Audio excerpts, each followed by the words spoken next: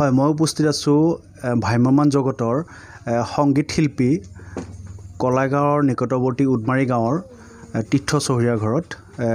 যিহেতু বহু বছৰ ভ্ৰাম্যমাণ জগতৰ লগত জড়িত হৈ তেখেতে তেখেতে বিভিন্ন থিয়েটাৰৰ জৰিয়তে সংগীত পৰিচালনা কৰি আহিছিল। কৰোণা মহামাৰীৰ বাবে যিহেতু ভ্ৰাম্যমাণ জগতখন সম্পূৰ্ণৰূপে স্তব্ধ হৈ গৈছে তেখেতৰ পৰা জানিব বিচাৰিছোঁ তেখেতে এই কৰোণা মহামাৰীৰ সময়ত কি কি কামত ব্যস্ত হৈ কি হিচাপত তেওঁ জীৱনটো অতিবাহিত কৰিছে তাৰ বিষয়ে অলপ চমুকৈ জানিব বিচাৰিছোঁ। কি ক'ব আপুনি?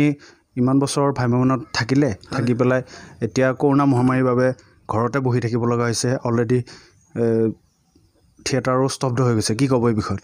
নমস্কাৰ। আচলতে আমি আমাৰ নিচিনা শিল্পী কলা কুশলীবোৰৰ এতিয়া দুৰৱস্থা একেবাৰে একেবাৰে দুৰৱস্থা।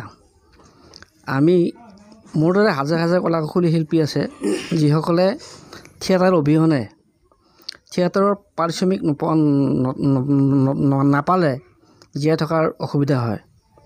এতিয়া সম্পূৰ্ণ লকডাউন হোৱাৰ পিছত থিয়েটাৰ যেতিয়া বন্ধ হৈ গ'ল আমাৰ নিচিনা শিল্পীসকলৰ বাবে আমাৰ অৱস্থা একদম পানীত হাঁহ নচৰা অৱস্থা হৈছে।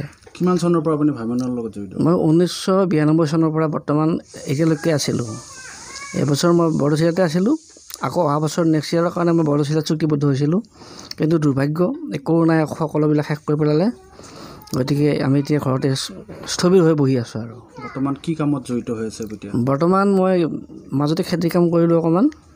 তাৰপিছত এই ইতিহতো কাম কৰি আছোঁ লগতে কিবাকৈ চাইকেল এখন লৈ ওচৰৰ ল'ৰা ছোৱালীবিলাকৰ দুটামান ক্লাছ কৰিছোঁ ভায়লিন চিটাৰ বাঁহী আৰু ভকেলো দুই এটা শিকাইছোঁ।